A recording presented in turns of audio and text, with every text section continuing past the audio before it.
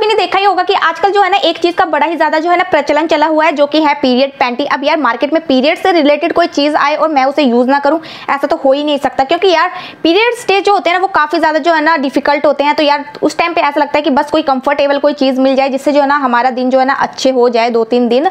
तो यस मैंने भी जो है वो चीज़ मंगवा ली है एंड ये आ गई है मेरी चीज़। सो लेट्स ट्राई इट कि नाम का है या काम का भी है। So hi guys welcome back to my channel कैसे हैं आप सभी? सो गाइज़ आज की इस वीडियो में आपके साथ शेयर करने वाली हूँ कार्मेसी के ओवरनाइट अंडरवियर का रिव्यू एंड गाइस काफ़ी सारी वीडियो देख देख के ना मैं भी परेशान होगी। मतलब कि जब भी यूट्यूब ऑन करो, बस यही प्रोडक्ट यही प्रोडक्ट बस इसकी इतनी ज़्यादा तारीफें कि पूछो मत। अब इसकी इतनी ज़्यादा तारीफें हो रही है तो यार मैंने भी इसे मंगवा लिया। तो लेट्स ट्राई इट कि ये कैसा है। एंड मैं जो हूँ, आपके साथ अपना ओनेस्ट रिव्यू शेयर करने वाली हूँ। क्योंकि यार वीडियोज़ में जो है ना प्रमोशन भी किया जाता है प्रोडक्ट्स का तो यार पता नहीं लगता कि अच्छा है या बुरा है। तो यार मैं जो ना, आपके साथ इसका अपना personal experience and honest review share करने वाली हूँ। सो फ़र्स्ट ऑफ़ ऑल इस तरह की पैकेजिंग के साथ आपको मिल जाता है। एंड इसमें जो है आपको फोर अंडरवियर्स मिल जाएँगी। एंड एक मैंने यूज़ कर ली है एंड उसमें अब बची हैं तीन तो इस तरह की पैकेजिंग के साथ आपको मिलेगी। मतलब कि एक पॉलीथीन जैसा ही है ये हाँ। एंड इसको यहाँ से जस्ट ओपन करना होता है एंड मैं आपको दिखाती हूँ, ये देखो।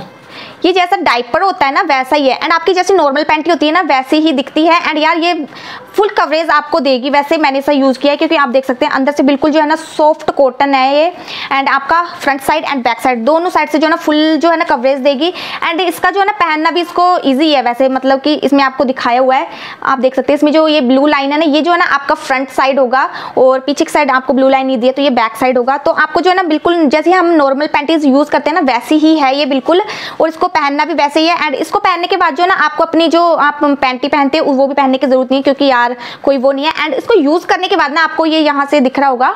तो यहाँ से जस्ट ऐसे टोन करना है आपने और ये जो है बस इसको यूज़ करके फेंक देना है। दोबारा यूज़ बिल्कुल भी नहीं करना है।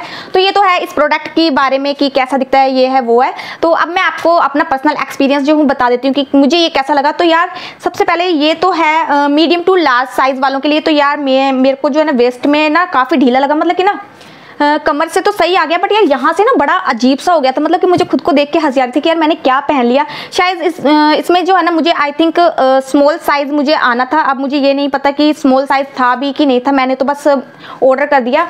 बट यार मुझे लगता है ना ये थोड़ा सा मुझे इचिनेस भी लगी, क्योंकि यहाँ से ना जब मैंने इसको वियर किया तो पता नहीं यहाँ पे कुछ चुभने वाला कुछ है तो नहीं बट मुझे ना काफ़ी ज़्यादा पूरी रात जो है ना चुभता ही रहा। पता नहीं क्या चुभता रहा, वो तो मुझे पता नहीं, पर इरिटेशन ही होती रही मुझे बड़ी ज़्यादा। तो मतलब बैक साइड से बेस्ट पे बैक साइड से। तो यार मुझे तो चुभा, बाकी यार पता नहीं क्यों चुभा। और यार इसकी ऑब्जर्वेशन की बात करूँ तो यार ये जो है ना काफ़ी सारा जो है ना आपका पीरियड वाला ब्लड जो है ना काफ़ी अच्छा खासा जो है ऑब्ज़र्व कर लेता है।